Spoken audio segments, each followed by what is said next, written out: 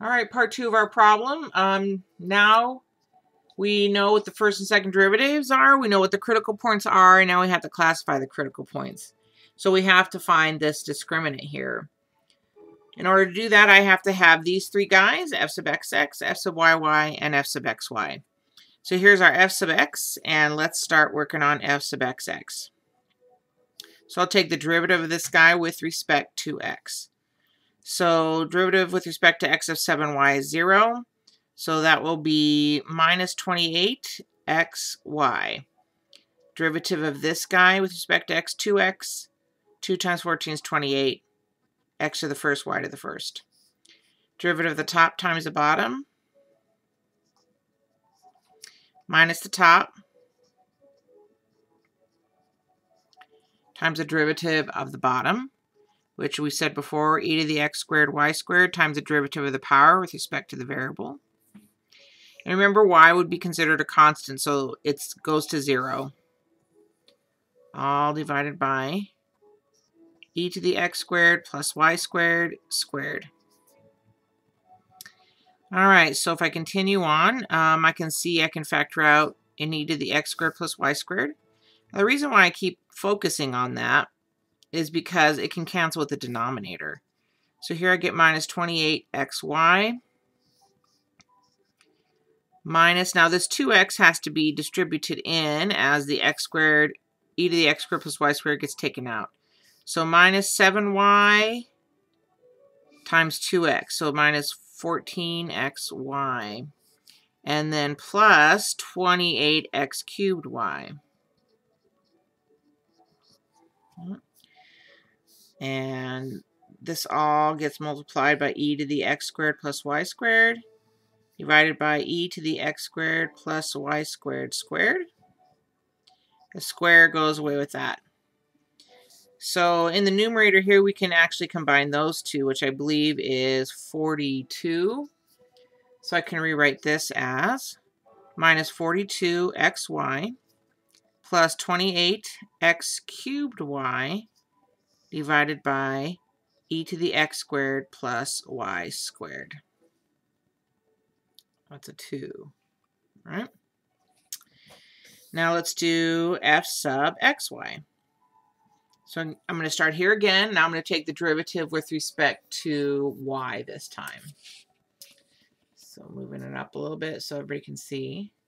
So with respect to y, that's going to be 7 minus 14x squared, derivative of the top, times the bottom, minus the top, times the derivative of the bottom. So that's going to be e to the x squared plus y squared times the derivative of the power with respect to y now. y. So that's 2y. All divided by e to the x squared plus y squared, all squared quotient rule. Now, again, simplifying is the key to making this problem work. So I can see an e to the x squared plus y squared everywhere, so I'm going to factor it out and simplify the numerator. So e to the x squared plus y squared taken out. Take it out of this term, I'm left with my, uh, 7 minus 14x squared.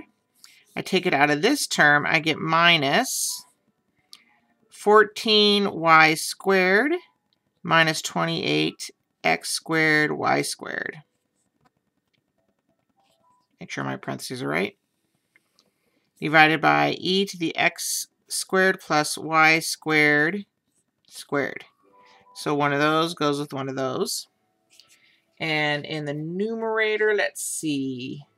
It doesn't look like I have anything that is a like term. So I'm going to end up with 7 minus 14x squared minus 14y squared plus 28x squared y squared. So 7 minus 14x squared minus 14y squared minus 28x squared y squared all over just 1 e to the x squared plus y squared. Okay, so I've got three of the, two of the three that I need. Now I'm going to try f sub y y. So starting with that, come down here, and I always write what f sub y was in the first place. So looking at my old work, let's see, where is that? Here he is. f sub y, 7x minus 14 x y squared divided by e to the x squared plus y squared. Okay. So now f sub y y, let's see here, take the derivative of the numerator with respect to y. So that means that's going to be 0, and this will be minus 28xy. Derivative at the top times the bottom. Minus the top. Whoop, 75. Not sure where that comes from. 7x minus 14xy squared times the derivative of the bottom, e to the x squared plus y squared now I'm going to take the derivative of this guy with respect to y. So it's going to be 2y.